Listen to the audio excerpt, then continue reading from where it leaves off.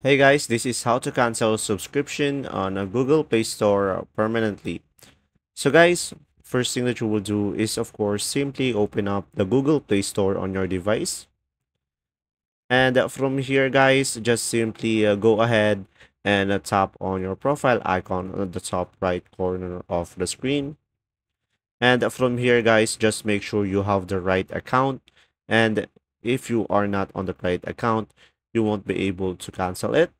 So from here, just tap on this icon over here in order for you to go to the right account.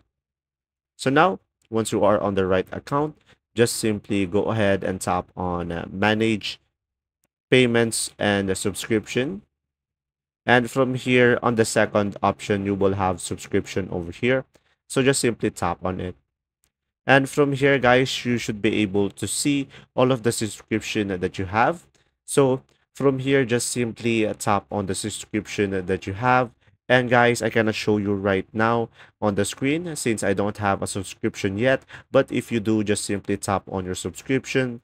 And from there, guys, you should be able to see your information about the subscription, like when the next payment will be and how much it will cost and from there at the very bottom you should be able to see there cancel subscription.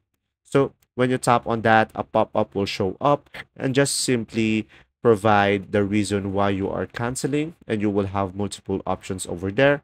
And after that just tap on continue at the bottom and uh, from there guys a pop-up will show up again and just simply tap on and cancel subscription.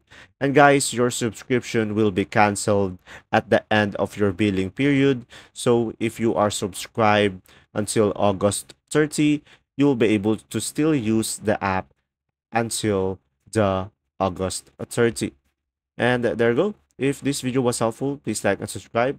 And thanks for watching. See ya